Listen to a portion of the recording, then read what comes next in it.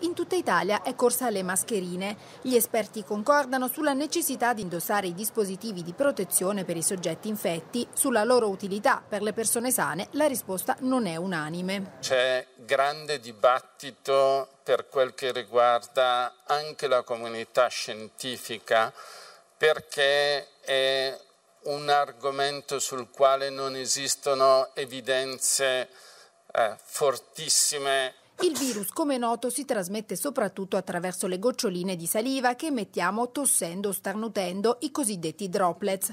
Questa TV giapponese, in sinergia con esperti, ha fatto questa verifica sfruttando la tecnologia digitale. Utilizzando una telecamera ad alta sensibilità ha osservato il loro comportamento. Se le goccioline più pesanti cadono rapidamente, le più piccole, mostrano le immagini, galleggiano a lungo nell'aria. Ad oggi non ci sono certezze su quale concentrazione di particelle così piccole possa portare al contagio. In spazi aperti o ben areati il pericolo, concordano gli scienziati, è probabilmente limitato. È più alto il rischio per gli ambienti chiusi in cui le persone rimangono a lungo. Aprire spesso le finestre è una misura utile e consigliata. La RAI al fianco della protezione